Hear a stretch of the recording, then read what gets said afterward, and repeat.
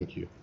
Yeah, Jillian. Do you guys have a response to what Putin said yesterday, which was basically that if, this is a follow-up on, on Ukraine, if there Yeah. were missile strikes, you view that as NATO entering into a direct war with Russia, including the US, just, So a Do you few things. Yeah, a few things about that. So number one, that's very similar to things that he has said uh, over the course of the past two and a half years. We've seen, seen him make similar statements about uh, things that the United States and its allies and partners, not all of whom are NATO members, some of uh, whom are other uh, partners of ours around the world.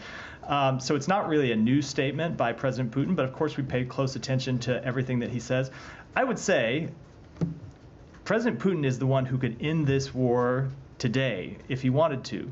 The only reason we are even having a discussion at all about the provision of American capabilities to Ukraine and the provision of capabilities by our NATO allies and the coalition of 50 countries that we've assembled around the world to Ukraine is because Putin continues to press this illegal war, that he continues to try to forcibly take territory of Ukraine. So if the president of Russia doesn't want to have a conversation about what capabilities we provide to Ukraine, there's a very easy way to uh, get to the end of that conversation, and that's for him to end this illegal war.